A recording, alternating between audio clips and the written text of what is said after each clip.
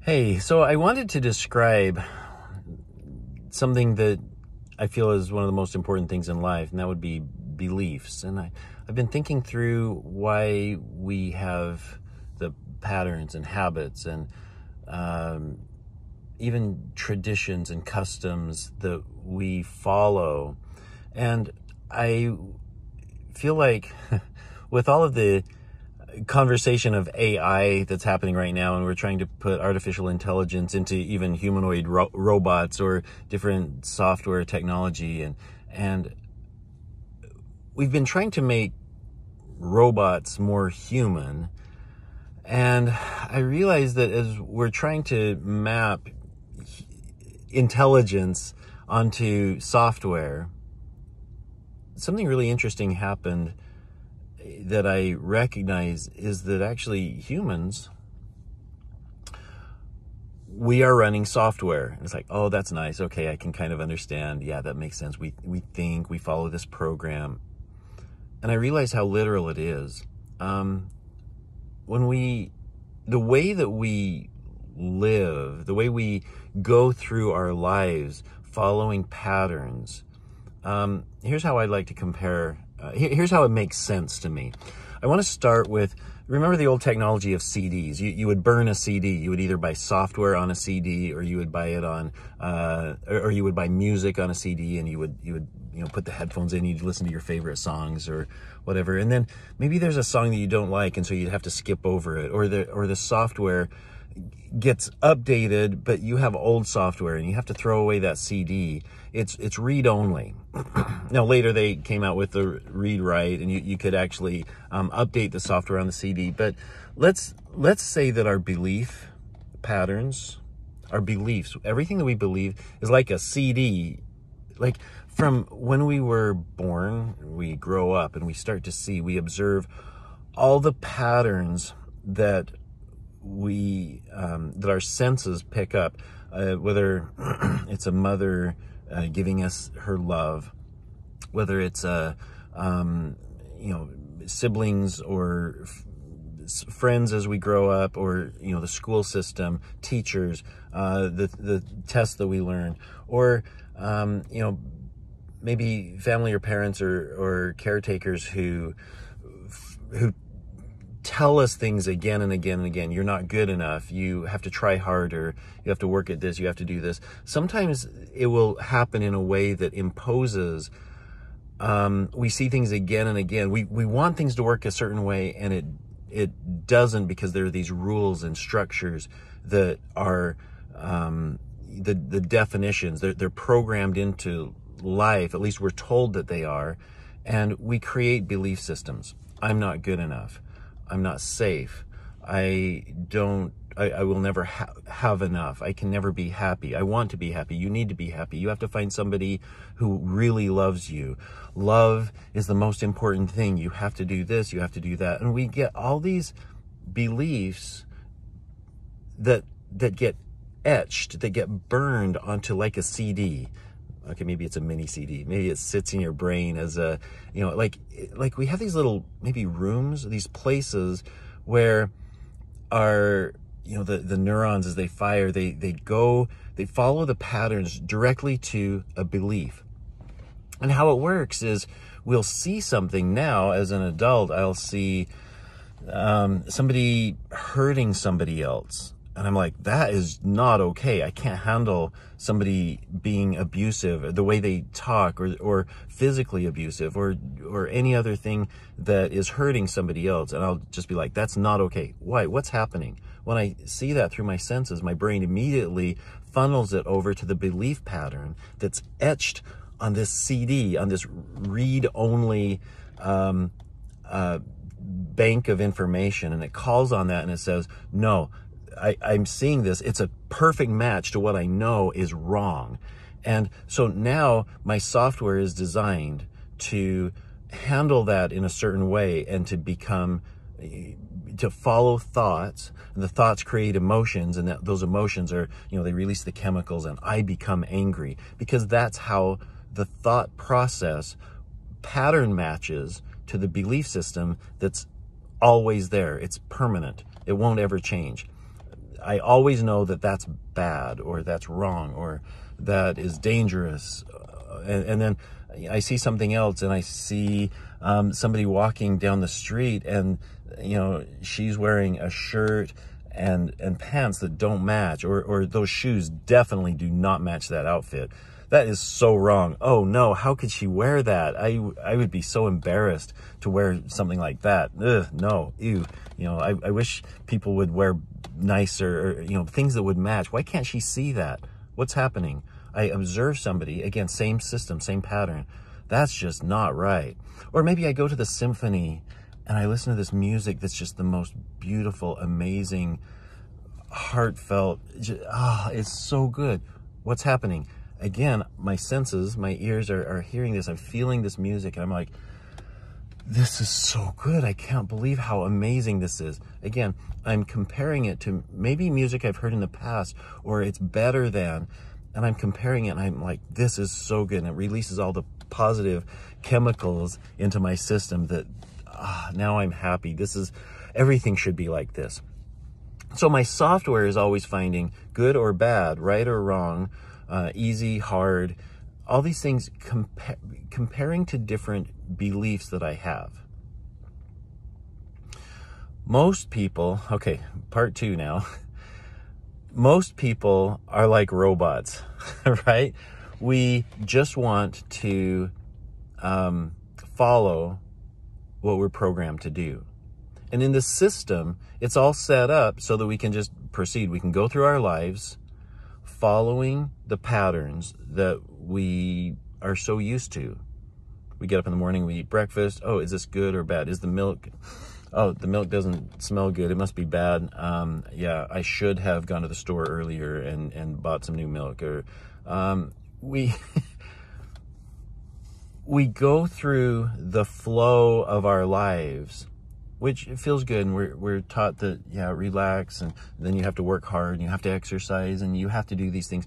But all these things are patterns that are they're they're separate um, they're different patterns in our brain that just say here's how to live your life and we just follow that. And even when something traumatic happens we still look for a belief pattern that we can reference and say yep i have to follow you know this is my code that my software can run against and if i follow that it will take care of me it will be safe and we don't live our lives. We just go through our lives. It's not active. We are passive. No matter how hard we work, no matter all the creative things that we try to do, usually we're still just following a passive flow through our lives. No, there's nothing wrong with flowing. In fact, we we need to learn how to how to flow with bigger things. In fact, this is kind of like a tutorial for learning how to flow in a bigger universe of possibilities. But at this point, most people, I would say 99 point some high number percent of all people are just going to go through their lives doing what they're supposed to or what their beliefs, their belief patterns, these CDs, these read-only chunks of information tell them is right or wrong, good or bad, easy, hard. Um, and as we do that, we feel comfortable. Okay, no, no, we grow up and we become adults. We finally are at a point where we can see it's strange how some of these things don't work um, some of the beliefs I had, some of the things I trusted, I believed in, don't quite fit reality. And we say, oh, the world must have changed. Before it worked so well, and now it doesn't. I wonder what's changed. I wonder why life is so hard now. Life is so different now. Um, and we can't figure it out. We're lost. We're stumped. How could it be so difficult now?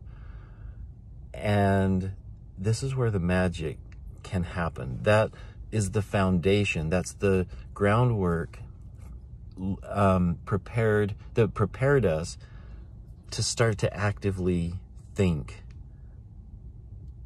to live.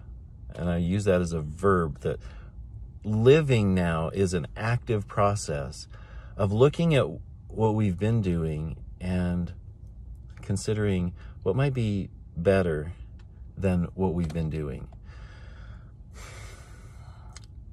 When we can think about something and when we see a problem with our old belief patterns, when something doesn't add up, it doesn't match, it doesn't it doesn't work according to what our desires are, what we what we feel could be better. We now have the opportunity to update our beliefs, and this is very, very, very difficult because all the neurons, all these neural pathways for so many years have been designed to go to this CD, this belief pattern, and now we see that there's a conflict. It doesn't match what we observe. Um, I could give long stories about examples. Um, maybe I'll do that in a later video. So, when I'm ready to recognize through awareness that this CD, it was good to take care of me when I was younger. It made sense. I was taught this and I followed this and I learned how to do it, but it doesn't work now. And I want to change it. Well, it's a lot of work to recreate because I can't update that old belief. I can't change it. It's stuck. I don't know, maybe I can, but this is my this is my thought is that we have to create a new one. We have to we have to come up with a new strategy. We have to write new software, new code that lays down a template for a new this new CD that we can then burn and hopefully make it solid enough that it becomes a replacement. It becomes an upgrade or an update for this old one. And we now have to replace the old CD. We have to throw it away, which unfortunately a lot of us will go through this process. But instead of throwing it away, we take that old belief, that old CD, and we stick it under some books or some, you know, some memory. Some we find another place and we just kind of set it aside, and we put the new belief in place, and we start to live, and we we get on this, get on our high horse or, or our uh, bandwagon, and we say, "Oh, I have this new belief, and it's the coolest thing," and we tell people about it, or we practice it ourselves, and we're so excited about our new belief. But then something traumatic again happens, and we see, and suddenly it's a match for that old belief pattern, and uh, the neural patterns, even though we kind of buried it, it just it finds it again and poof, it surfaces and and we fall back into our old belief patterns, our old responses to the to this old CD, this old templated software that says this is what's right or wrong. And we follow that old flow, that old pattern. And then wait, what just happened? And we have to then go back and and wait, wait, wait, wait. That was buried. I, I thought I lost. I thought I put that somewhere it shouldn't be active now. That should be buried in an archive somewhere. And we pick up, oh, okay, here's my new code, and we refresh it. In fact, we try to make it stronger. We try to put it in a higher priority place. And we have to start practicing making these neural pathways again to when I see this situation, like we have to practice, right? Practice comes in where we have to make the connections to this new belief pattern. And now, it may not be perfect. In fact, we may find holes in it, and later we may have to rewrite our code and update the software and put a new CD in here. But this is what I call living. Where before, without doing this process, it's what I call dying. Like most people who are alive really aren't alive. They're in the process of dying. They're getting older. They live, they, they go through life just waiting till they get old and they die. Like they're they're actively moving towards dying. They're not doing anything with life other than what they're pre-programmed to do through these patterns. What I am seeing that few very few people are able to do is rewrite, is uh, replace old belief patterns with new ones, to try new not just updating their software that accesses the beliefs, but they're trying out new beliefs. And some of them don't work. We may try this and go, uh, yeah, that's not what I wanted. Um, we'll, we'll try an idea for a little while to, to, you know, meet new types of people or try a new job or try learning some new skill. Um, and we have fun with that for a while and we go, okay, that, that was great, but now I'll move on to something else and something else. A lot of people will will, you know, use the old style of I'm uncomfortable and so I'll just try something new, try something new. But they're still following the old pattern of maybe I'll find happiness if I can just do more things, if I can um, go to another country and meet a different type of person. Maybe that will change my life. If I could just make more money, if I could just um, improve my relationship, maybe my my spouse needs to go to therapy so that you know if I can fix my spouse, I'll I'll start feeling better. hmm. And we don't figure out that it's our own beliefs that we need to get to the core of ripping those out, probably destroying which hurts. We destroying that belief because it's we have all these memories say this is how we were supposed to live. And we have to now tuck that away and say that's no longer my pattern. I need but we have to replace it with something. We have to now have a new pattern, a new system that guides us to doing things that are more in line with what we um, are able to um, desire and, and flow with. And now we start feeling more, you know, higher energies, uh, universal.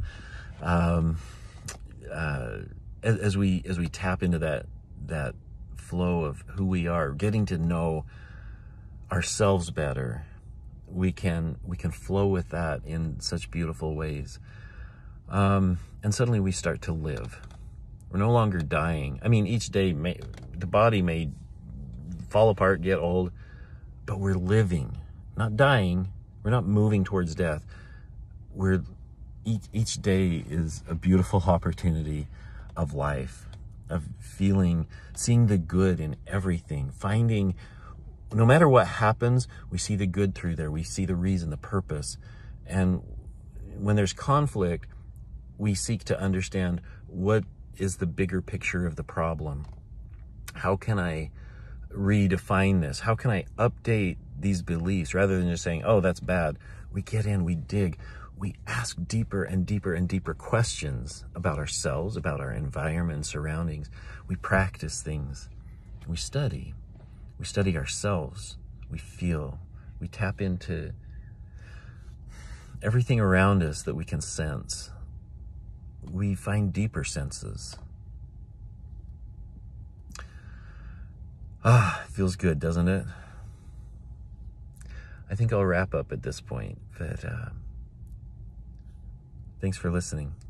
Have a wonderful, wonderful day. Thanks for feeling amazing.